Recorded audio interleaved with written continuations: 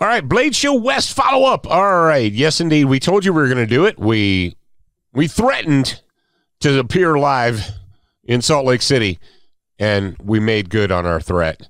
And uh, we did on Friday morning. We uh, hot footed it downtown to the Salt Palace, and we went to Blade Show West, and uh, it was a lot of fun. It was. It was a good time.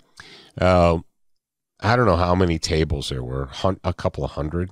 Had to been like several. Hundred. Yeah, there was quite a bit. It was there were more than I thought were going to be there. Yeah, there were several hundred, several hundred tables from uh, everywhere from like custom knife one man shops, like a one man shop, custom knife makers, all the way up to the big the big guys like CRKT and Spyderco and who's oh Tops Knives had a really big booth and uh, We Knives had a big booth. We we and then it wasn't just I mean knives of course it was knives and knife accessories like hardwood uh, fancy wood scales and knife sharpening equipment and so on and so forth. Spyderco had a large booth, which you would expect. Spyderco's in Colorado, so it's just a for them it was just a hop, skip, and a jump over from Golden, Colorado. Uh, Golden is known for beer and knives and hippies. And hippies. Yeah, there's uh, beer, knives, and hippies. That's what you get in Golden, Colorado. Uh, but uh, we saw our, our our our good friend Joyce, uh, who I've who I've known for at least twenty years. Probably it's no, it's at least twenty five years. It's 27? longer than that. I've known her since the nineties, Yeah. and it's not the it's not the nineties anymore. It's not. So I, I've known I've known Joyce from Spyderco for probably 25 years or so, and uh, somebody else that I've I've known for probably not so long, but I've been carrying his products and using his products for way longer than 25 years. Uh, was Lynn C. Thompson, formerly of Cold Steel, and you're like, whoa, what do you mean formerly of? Well, if you, if you follow the uh, the knife world or the outdoor shooting sports world, or you know, uh, well, just the world in general of knives and, and tools and, and stuff, uh, Lynn Thompson founded Cold Steel Knives uh, in the '80s, and the early in the early 1980s, he founded Cold Steel Knives. It might have been in the '70s. Oh, I'm gonna I'm gonna look that up but at least 40 years ago, okay? Uh, and he sold recently, he sold, uh, he sold the Cold Steel Company to GSM. Oh, 1980. I was right. Wow. So he founded it in 1980. He founded Cold Steel Knives. Oh, Zach has called a flag on the field Uh oh. called false start. I did. Yep. For what? I see it. It says false Oh. start up there. Hardy, hardy, hardy, har. That's a that's a five. Is it a five yard penalty? Five or 10 yard, 15 yard. I don't think it's 15, 10. I don't think it's a 10 yard 20 penalty. yard penalty. Yeah, yeah, Maybe, but- you know. Anyway, so long story short, um, I've known Lynn Thompson. I've I met him at a, one of the many trade shows many, many, many, many years ago. Um, and I saw him. He was he was patrolling around. Uh, he had his he had his posse, his one man posse with him, and he was patrolling around the the floor of Blade Show West. So we we took the time to have a little chat and snap some photos, and uh, that was it was nice. If you don't know anything about Lynn Thompson, Lynn Thompson is what I refer to. I don't know if anyone else in the business uses this terminology, but I do. He is the P.T. Barnum of the knife world, and if you don't know what that means, if you don't get the reference, then What's TP Barnum? P.T. Barnum. He's the P.T. Barnum of the knife world. So, and uh, any hooser. Isn't that the guy that jumped out of a plane and disappeared? But then it turned out that he was really nice and No, no. he gave the, the hostess a, or whatever you call them, a kiss on the way out as he jumped and then flew into the sunset really gently. Yeah, yeah, that's it exactly. You know, half of our audience doesn't know what the hell you're talking about, Oh, right? really? Yeah.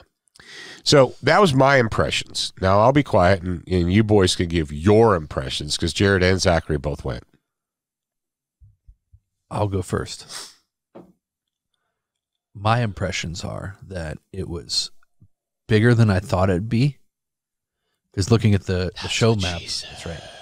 Looking at the show map, I was like, "Oh, this is going to be crunched into one area," which it, it was, but it was way bigger than I thought it was going to be. I thought it was going to be a little room, like you know when you go to Shot Show, and I just lost most of the Oh, the, audience, the but- side ro- the yeah, side like rooms. go to the LE room, yeah. that's kind of what I thought it was going to be like. It was going to be like like that really small one, but it wasn't. It was bigger than that, and there was.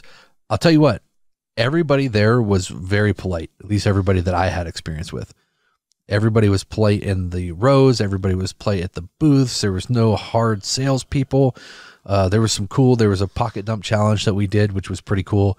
Um, I liked it from because I I like marketing stuff, and I liked it from a marketing perspective. what 'cause- was the name of that company? Ah, I can't remember.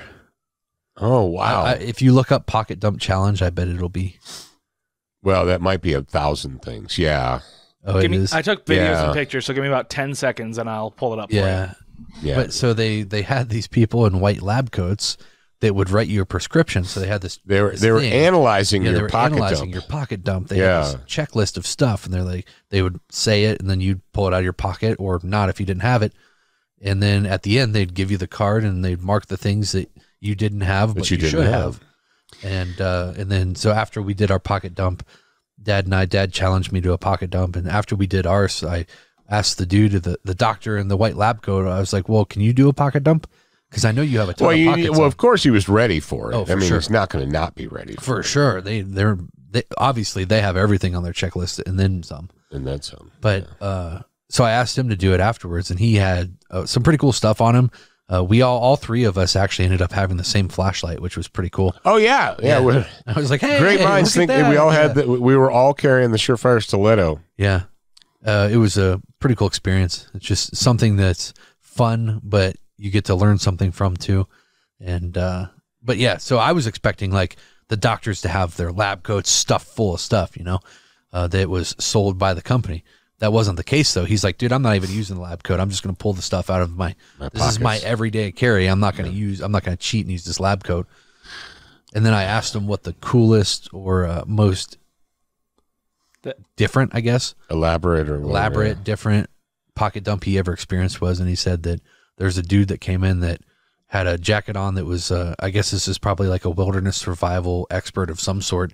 He had a jacket that had everything that the dude needed to walk into the woods and survive for a few days. You know what? Jarrad and I both have everything. When I get out of the shower, I have everything I need to survive in the woods That's right. because I I'm, I'm trained now. I am now trained. Brains.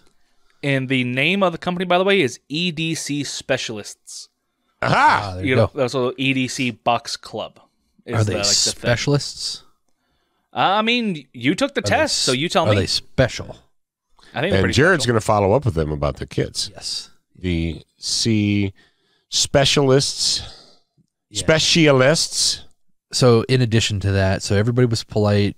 I got to see some of my friends there. Nate the Blade Maker was there. We went Oh yeah, Nate him. was there, of course. Uh, we got there at like we're amateurs apparently because we got there at like eleven o'clock. and we didn't have the uh, at ten. um, what you call it, the early Um, birds. the early bird special. We didn't Yeah. have the early bird special. I didn't realize that people lined up. I heard one dude talking about how he got there at midnight the night before so that he can get in there. And I guess there's probably show specific knives that you can only get there. So the knife collectors that are serious about it, they'll show up and get in line and and uh, make sure that they can get that knife that they want before they're out of stock. Oh yeah, here it is. Here's their website. It's crazy. Right here. EDC Specialties, Everyday Carry Essentials, and EDC Kits. There you go. There you go. There you go. So they got a lots of gizmos and gadgets and, and stuff on there. Um, we we didn't get a lot. We didn't get a lot of time to talk, but uh, you know, obviously we promote the fundamental four, and you know, he, he's like, "Oh, do you have a pen? Do you have some kind of a pocket tool? Do you have a bottle opener? Do you have a, you know, stuff like that?" Uh, which is nice, but that's not fundamental. Fundamental is lethal, sharp, bright, medical. Fundamental four is your is your MED, your minimum effective dose of That's stuff. right. You can carry That's more the, than the minimum. I, I Minimum. didn't say it's the max. It's the minimum. Yeah. A pen is sharp, I mean, well, it could be a, you know, well, not really. You're not gonna. not or is gonna- it pokey? A pe- I, I was gonna say stabby. It's stabby. A It's pen is pokey. stabby. Yeah. So Zach, what was your what was your uh, takeaway from Blade Show West? My takeaway from Blade Show West was it was really cool and very expensive. The, To get in, No, just like everything there because I I went in. it was with the- inexpensive to get in. yeah, it was I- inexpensive to get in, but Can I can I make a correction real quick? go for it. The really cool custom stuff was definitely expensive, but there are some places I don't know if you've kn- if you're aware of the MSRP on a lot of the items that were there from like CRKT and Spyderco and and companies like that. I don't know about the local guys, but the show deals were fantastic on some of these Oh, yeah. things. Yeah, the Yeah. the show deals. Like I, I, I looked. I went to some of the knife uh, manufacturers' websites afterwards, and it was obvi- it was a way better deal if you bought it at the show. I just wanted to clarify that. I'll kick it back over to Zach because I'm sure he's talking about the the custom, like the cool stuff, right? Yeah, like like really cool stuff and like yeah. The Like, I- I- like the for handmade example the broadswords and Yeah. gladius. Yeah. and- What was your example, Zach? not like uh, the the very tiny knife which people really like that on Facebook. If you look on the if you are oh, watching the little dagger. version, Yeah, the little. the tiny little dagger that tiny dagger. on it. Uh, that was five hundred dollars, I think. I didn't see that. closer, tiny dagger. If you look at the screen, you should be able to see it. Uh, or can, Can you, you see put a feed? Picture of it on the show? Uh, There's I- one on our I'm fascist not while you're book talking. page. I'm not on there. up, up, up, up. Up, but up, but up, but up, but up. Party You- are you going to echo it? Oh, there we go. Oh, that one. Hold me that one. closer, tiny yeah, dagger. that was super expensive, and, and the big version of it was a thousand dollars. And I went in there with the, uh, the thought that Yeah, maybe I'll get like 27 a, like because I've, I've for whatever reason I wanted a meat cleaver, right? That's something I've wanted, but you can't find him anymore. You wanted to meet Cleaver, yes, I wanted to meet Cleaver. like Beaver Hotty, hotty, or hotty, Wally. both of them. And I was like, maybe I'll get like a fancy, nice one here. The cheapest one I saw was 150 bucks. Yeah, So I was like, That- yeah. maybe not. Oh, yeah. But- they're, they're custom stuff. Yeah, I know, but still. Um, How, I didn't So, know yeah. you wanted a meat cleaver. yeah, I've been looking around around for one. Okay. The the only place I've been able to find one like at a store around here is IKEA, and they've been sold out for the last six months. Which makes me Oh. think they're just like not stocking them anymore. But they still have the display, so I'm mad about that. Anyway, Don't buy uh, one. there was what? Don't buy a meat cleaver. Okay. Uh, the there was a lot of really cool stuff, a lot of really cool people. Like like you said, we talked to a lot of fun people there. Um, it, it was just it was like being a kid in a candy shop, except you have no money. I was like I was like Charlie in the candy shop. I was looking you around. bought like, something. I did buy one something. I Yeah. bought myself a pair of what what are they called? Like That's white it, you bought a paperweight. orange viper, something viper. I bought a paperweight that I can put my fingers in, in the shape of Hey. some knuckles. I bought a That's pair. right. I That's what a it pair of is. knuckles. Yeah. and they're blue and shiny, and I like them. There you go. But yeah, it was a, it was a good a- time. I had a lot It's of not fun. really a pair. It's just stuff. one. But uh, Well, I mean, it's It's it's actually five. pair of pants. Or yeah, four. you're Put a pair on of a pants. pants, or do you put on a pair A of set. pants? I don't know. Exactly. Uh, well, See, that's that's it. my That's opinion. I had a the. good oh, and we did see uh, some some students of the gun. We we saw we ran into some students of the gun, which was nice. Uh, so we saw people that uh, we saw a few of our old friends, and then we met a lot of uh, potentially new friends. So there you go. There you go.